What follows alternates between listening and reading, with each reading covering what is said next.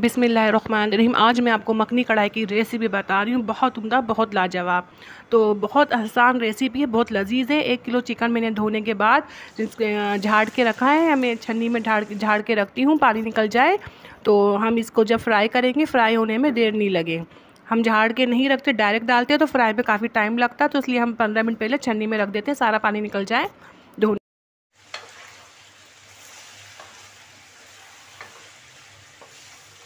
और 200 ग्राम मैंने ऑयल लिया है। ऑयल को गरम ऑयल या घी घी में बनाए तो बहुत मज़े का बनता है। फ्राई हो चुका है। आप देख सकते हैं कैसा कलर हो गया है। इसका हमें ऐसा चाहिए चिकन फुल फ्लेम में हमने फ्राई किया था।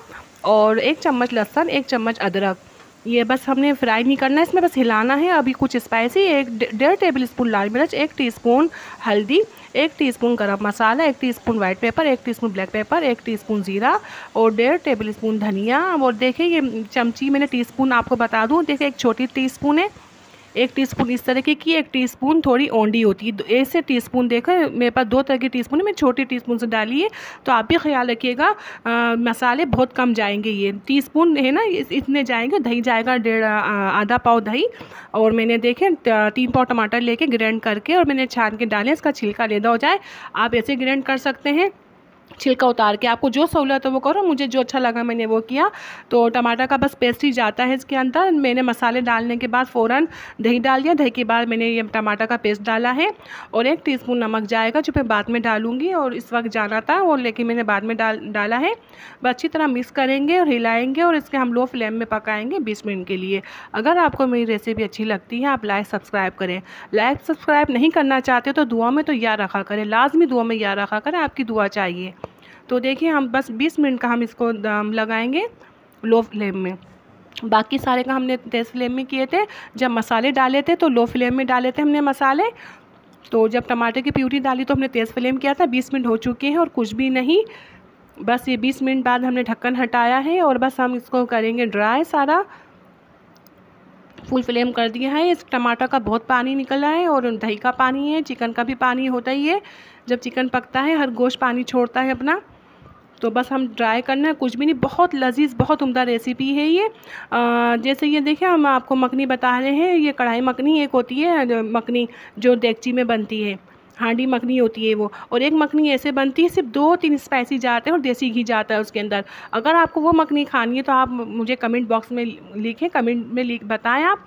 और वैसे भी मैं बनाऊँगी तो उनके लिए आपको इंशाल्लाह रेसिपी दूँगी। तो दो तीन तरीके की मखनियाँ बनती हैं। तो हम आपको इंशाल्लाह जब भी बनाएँगे, हम आपको रेसिपी देते रहेंगे। और मैंने ढक ढक के देखे, पानी ड्राई किया है, चीटे बहुत इसके बाहर आ रहे थे तो किचन किचन हमारा और चूल्हा बहुत ख़राब हो रहा था तो इसलिए हमने ढक के इसको ड्राई किया है। तो बस हमें ड्राई करना है, ख्याल भी रखिएगा बीच में, हमारा ये मसाला जले नहीं, बहुत वीआईपी बहुत उमदा हमारा देखे तैयार है, अभी और भुनाई होगी। इस वक्त आप नमक चेक कर सकते हैं। स्पाइसी का देखिए ख्याल रखिएगा टीस्पून छोटे वाले डालिएगा, बहुत ज़्यादा स्पाइसी नहीं चाहते आपने ज़्यादा स्पाइसी डाल दिए भर भर के तो भाई देखिए आपको मखनी मखनी नहीं रहेगी तो ये कुछ और ही बन जाएगा। तो स्पाइसी सारे ही जाएँगे कि थोड़े थोड़े से जाएँगे। ये कंप्लीट देखिए हमारा ये भुन चुका है।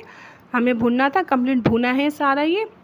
बिल्कुल तैयार है। अब हम इसमें डाल रहे हैं आधा पाव क्रीम, एक किलो चिकन में आधा पाव। देखिए, इसमें एक पाव भी क्रीम जाती है आपकी पसंद के ऊपर, आप एक पाव भी क्रीम डाल सकते हैं। और क्रीम का ये ख्याल रखिएगा, बिल्कुल लास्ट में क्रीम जाती है एंड के अंदर। बिल्कुल तैयार हो गया, हमारा सारा रोगन बाहर आ गया। बस ये क्रीम डालेंगे मिक्स करेंगे और मक, और थोड़ा सा मक्खन डालेंगे। आप भी मक्खन भी आपके ऊपर डिपेंड करता है आप कितना डालना चाहें। पूरी एक टिकिया डालना चाहते हैं हाफ़ डालना चाहते हैं ये आपके ऊपर है। क्रीम मक्खन आप अपनी मर्ज़ी डाल सकते हैं लेकिन कम से कम आधा पाव क्रीम जा सकती है इसके अंदर ज़्यादा से ज़्यादा एक पाव। तो बस हमने ये डाली है ये मखनी है तो ज़ाहिर क्रीम मक्खन तो लाजमी जाएगा। और एक मखनी ऐसे बनती है जिसमें देसी घी जाता है दो तीन स्पाइस कुछ भी नहीं वो भी बहुत लजीज बहुत उमदा बनती है। तो ये बस ये तैयार है, ये हमारा एंड में सब कुछ गया है। हम बटर डाल के सिर्फ़ पाँच मिनट में, पाँच मिनट लिए लो फ्लेम में रखेंगे बटर हमारा पिघल जाए। और बिल्कुल तैयार है रेडी है। आप बनाए, इंशाल्लाह आपको बहुत पसंद आएगी और आप बनाएँगे ना, आपकी बहुत उमदा, बहुत अच्छी बनेगी। बस हम ये कवर करेंगे और कुछ हरी, आपको हरी मिर्ची जितनी पसंद है, आपको पसंद है तो आप डाल दीजिए। हरी मिर्ची है, अदरक है, ये पसंद के ऊपर है। तो ये भाई मखनी में तो लाजमी जाती है और पसंद की भी ऊपर होती है। तो आप हरी मिर्ची ऐसे काट के डालिएगा। बस में साबित हरी मिर्चें नहीं जाती, बहुत सौ को पसंद होती है तो रेस्टोरेंट में साबित भी हरी मिर्ची आ रही होती है, कुछ बाज़ रेस्टोरेंट में कटी हुई भी हरी मिर्ची होती है। तो बस आपके आपके ऊपर डिपेंड करता है, आपको कैसे पसंद है।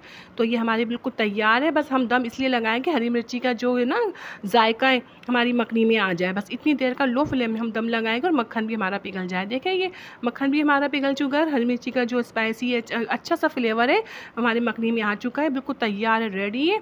आप बनाएँ, इंशाल्लाह आपकी अच्छी बनेगी और हम आपसे इजाज़त चाहते हैं। अपना बहुत ज़्यादा ख्याल रखिएगा। अल्लाह हाफिज़।